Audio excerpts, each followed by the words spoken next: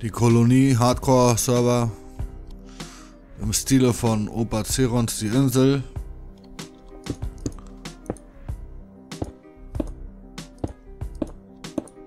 Ähm, inspiriert natürlich. Opa Ceron ist auch fleißig am Basteln. Habe ich schon ein paar Videos von ihm gesehen.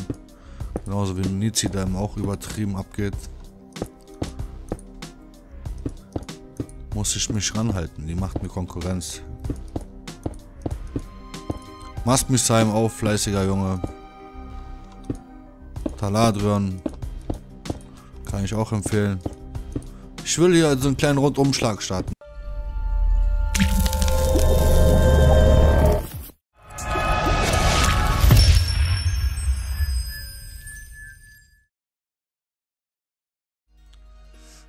Ey, Hierchen, meine Freunde, willkommen zurück bei Il Jazz. Heute wollen wir eine Runde bauen. Einfach so, just for the lol, weil wir es können. Einfach so gechillt drauf losblöckeln. Ich bin hier in meiner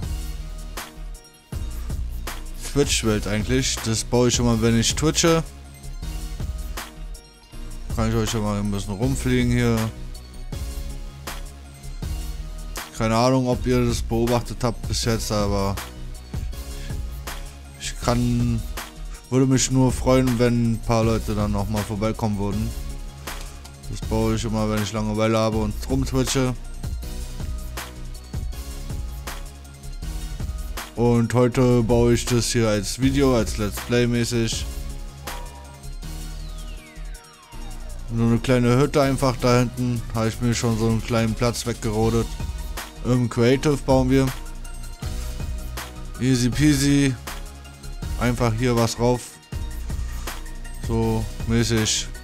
Ganz gechillt. Materialtechnisch will ich mich hier in dem Rahmen hier bewegen, was ich hier schon habe. Sprich Kobbel, Quarz, Darkwood etc. Glowstone, Zäune,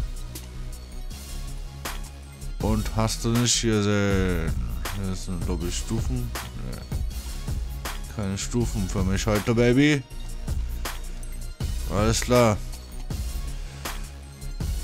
Wir wollen ja immer, dass es sich in einen Raum bewegt, also in einen, auf einer Ebene mit den ganz Matt, Matt mit dem Matt. deswegen will ich hier einfach mal so loslegen glaube, ich werde mir hier sowas ums Eck bauen. Habe ich schon ein paar Mal gemacht, glaube ich. Wir werden sehen, was hierbei rauskommt. Es werden bestimmt mehrere Teile. Kann ich mir gut vorstellen, dass es mehrere Teile werden. Wie ich mich kenne, werde ich hier nicht nach einer Stunde fertig sein. Wir werden hier einfach mal irgendwas randommäßig hin, hinknallen. Mit einem gechillter, gediegener Mucke von Jamaican Beats. Sehr potent der Mann, was Mucke angeht. Kann ich mir empfehlen.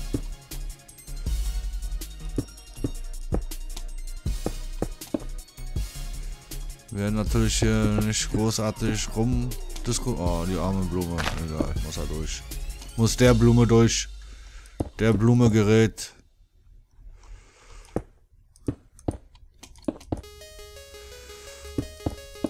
Wir werden sehen, was dabei rauskommt. Es werden mehrere Parts werden, denke ich mal. Kann ich mir gut vorstellen, wie gesagt. In der Hoffnung, dass euch das gefällt wird sich kaum zum Mord, Mord.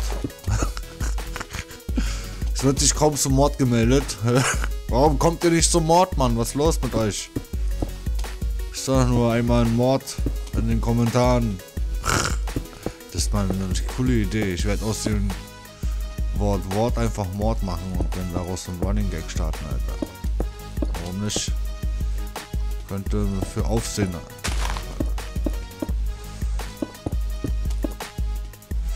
Warum nicht? Versuch wäre es wert.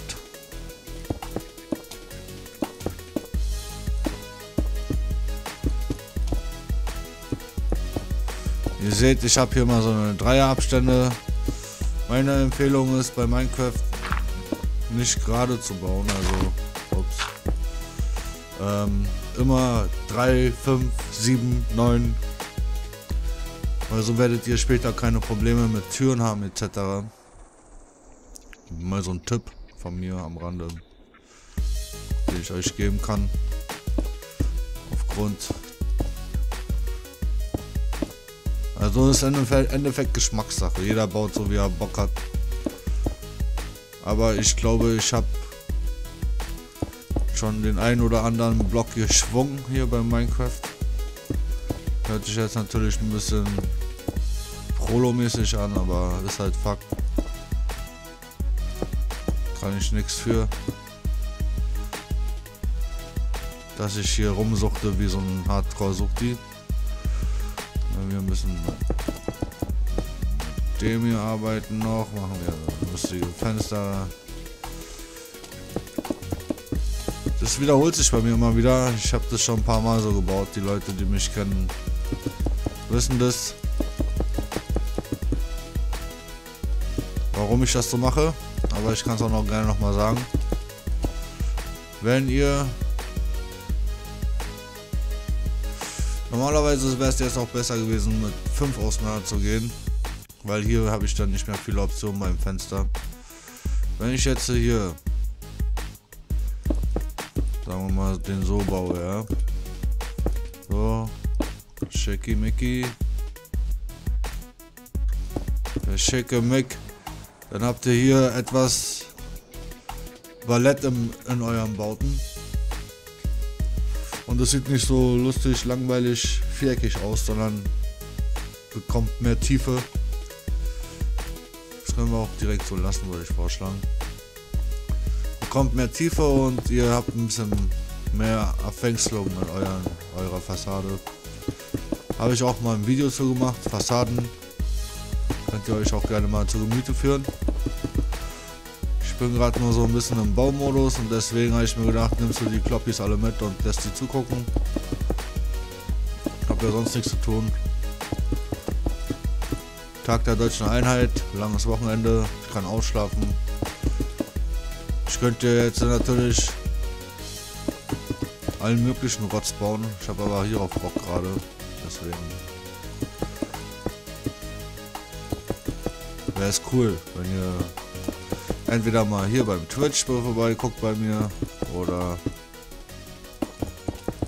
wenn ihr mal bei Angel Plays LP vorbeiguckt oder bei Gameplays. Mein Kumpel Mickey würde sich freuen tippe ich mal ganz stark drauf.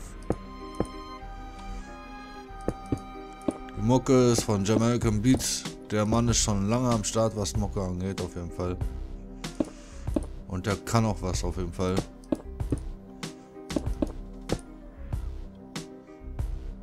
Hart drauf, der Mann.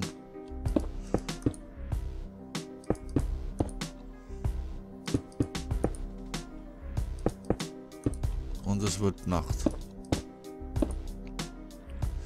Werde jetzt hier mal gleich ein paar Fackeln setzen, damit ihr was seht.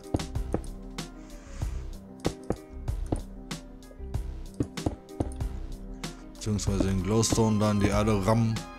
Umgespitzt. Oh, der war richtig, der war falsch.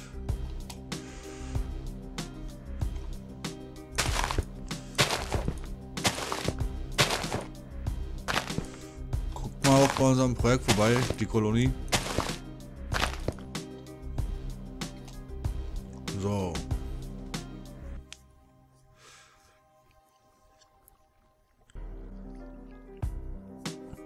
Die Kolonie Hardcore Server im Stile von Opa Cerons die Insel.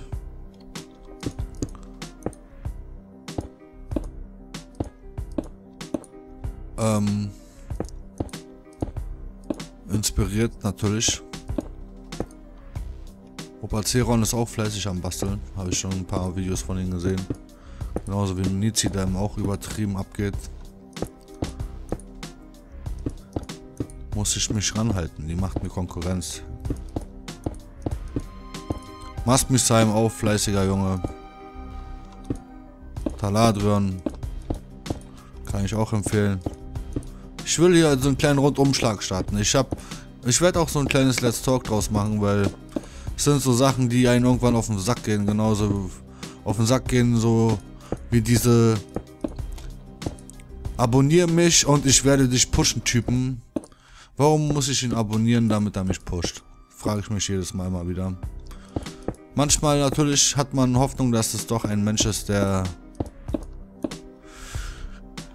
ein gut gewillt ist, so, aber die Tatsache, dass diese Nachricht irgendwo im Spam-Ordner rumlungert, das, das lässt natürlich für sich sprechen.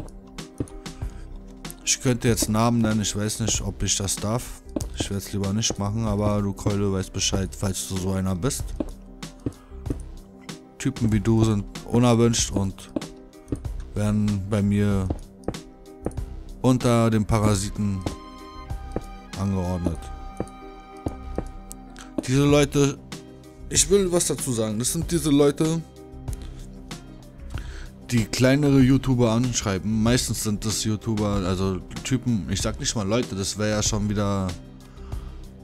Das wäre ja schon wieder ein Respekt, ein, ein Wort, was ich ihnen geben würde, was mit Menschen assoziiert werden kann. Assoziiert. Und das wollen wir natürlich nicht.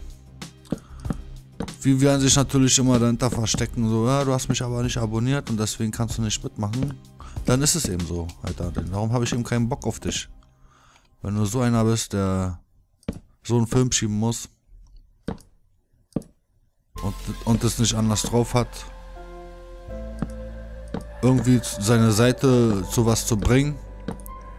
Mir geht es nicht um die Abonnenten. Ich bin stolz auf alle meine 125, die ich habe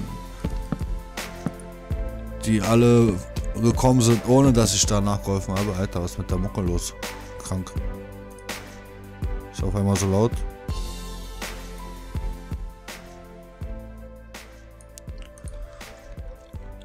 Das sind Typen, die schreiben einen an. Die spammen natürlich die ganzen Postfächer voll und versprechen den Leuten, dass sie die pushen wollen. Meistens haben sie schon irgendwelche Videos auf dem Kanal, wo sie was gepusht haben.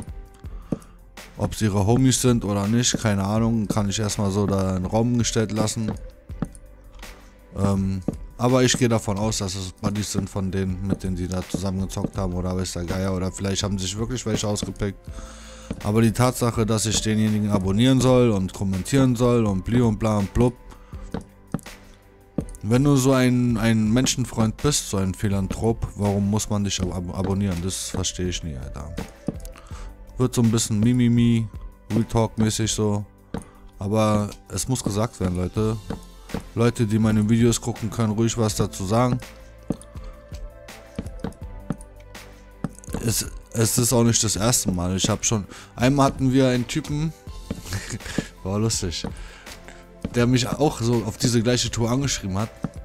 Und mein Kollegen Mickey hat er auch angeschrieben mit genau exakt derselben Nachricht. Also es war eigentlich bloß, wie gesagt, Copy-Paste.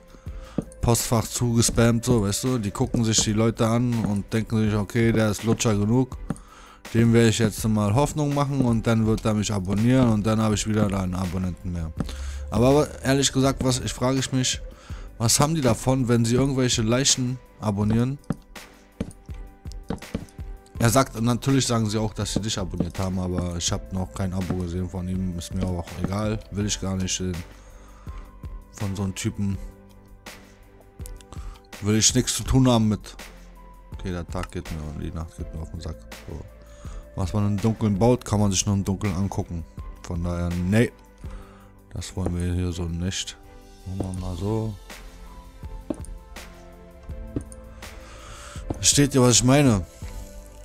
Warum soll der Typ, der doch ach so um unsere Community besorgt ist, wir müssen kleineren helfen, steht da auch immer gerne. Äh, warum soll, will, verlangt der von mir, dass ich ihn abonniere? Dann abonniere ich ihn halt, klar, normal. Kann ich ja auch machen, alles schön und gut. Aber wenn sein Content uncool ist, warum. Warum. Was hat er davon? Weißt du, wie ich meine? Ist doch eine. Guckt doch keiner. Selbst wenn ich ihn abonniere, was bringt denn der Abonnent, der seine Videos nicht klickt? Das checken die aber nicht. Die denken nur, Abos gleich Reichtum, die haben zu viel Gronk geguckt oder so. Tut mir leid, Gronk. Ich werde jetzt bestimmt einen krassen Tod sterben, weil ich hier deinen Namen im Mund genommen habe. Deine Homeboys werden mich zerfetzen. Versteht ihr?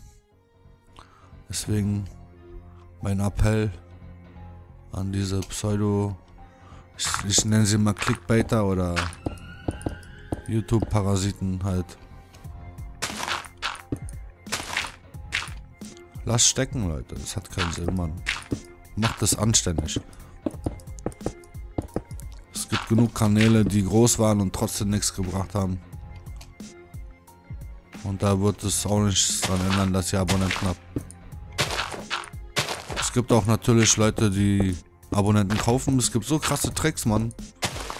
Die kaufen sich Abonnenten, beziehungsweise die bezahlen uns einen dubiosen Service, um Abonnenten zu haben auf ihren Kanal vorzuweisen. Finde ich alles low. Ist einfach alles. sind für mich keine Männer, keine Frauen oder wie auch immer mit anständigen Cojones oder Eierstöcken, die haben nichts auf dem Kasten. Die versuchen nur anhand von irgendwelchen Zahlen zu punkten. Und sowas ist einfach low.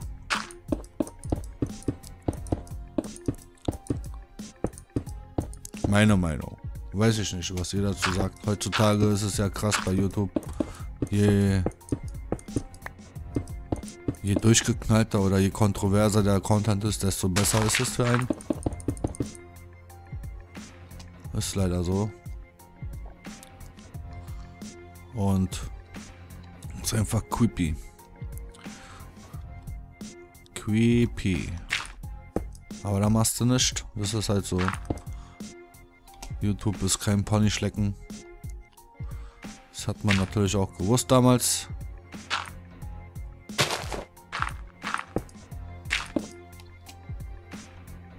Würde ich behaupten. Oder obwohl eigentlich nicht. Ich habe damals YouTube angefangen, weil ich es unbedingt wollte. Mein kleiner grüner Mann im Ohr. Ist mir massiv auf den Sack gegangen. Komm, geh zu YouTube. Geh auf das Licht zu. jo. Hauptsache, ich kann meinen Scheiß aufnehmen und hochladen. Mehr will ich gar nicht.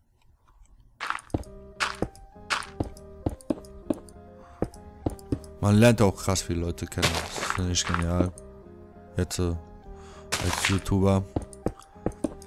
Beziehungsweise man wechselt ja den ein oder anderen Server.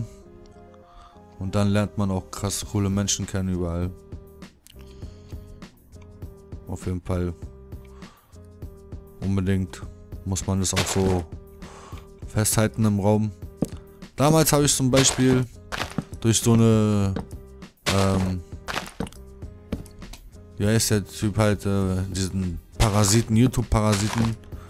Das erste Mal halt, wo ich den Typen begegnet bin, eine coole Let's Playerin kennengelernt. Die hat es eigentlich gar nicht nötig. Also sie hat es auch nicht nötig. Ich weiß nicht, ob sie durch Zufall da war.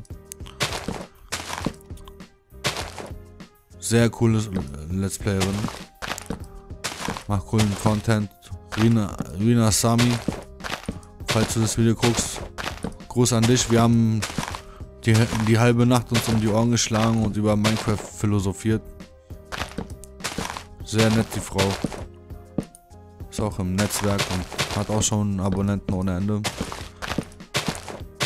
Schöne, nette Person halt. Schön durchgeknallt auf jeden Fall. Extrem sympathisch. Und durch, durch den Typen damals habe ich sie kennengelernt. Sind jetzt Buddies bei Steam. Ab und zu ziehe ich mir ihre Videos rein. Ich weiß nicht, ob sie bei mir rumhängt. Ob sie sich überhaupt noch an mich erinnert. Keine Ahnung. War auf jeden Fall eine chillige Nacht. Also hört sich jetzt voll falsch an, aber kennt ihr diese Momente, wo man extreme Gespräche führt so, also irgendwie Seelenverwandtschaft am, im Raum steht so. Oder einfach jemand sich sympathisch ist und einen die, die Zeit verfliegt so. Und man es nicht mitbekommt, ist wie so eine Zeitmaschine. Auf einmal ist es früh morgens. Ganze Nacht durchgelabert. Irgend so ein Bullshit. War, war cool auf jeden Fall. Würde ich. Hätte ich mal wieder gerne. Es gibt kaum noch Menschen, die anständig sind. Das ist leider, leider wahr.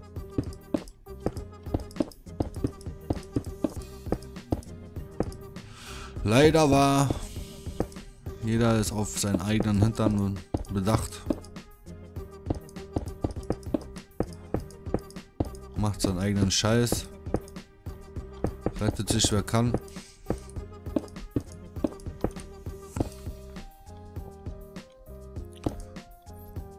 Korruption, Rassismus, Hass, Habgier.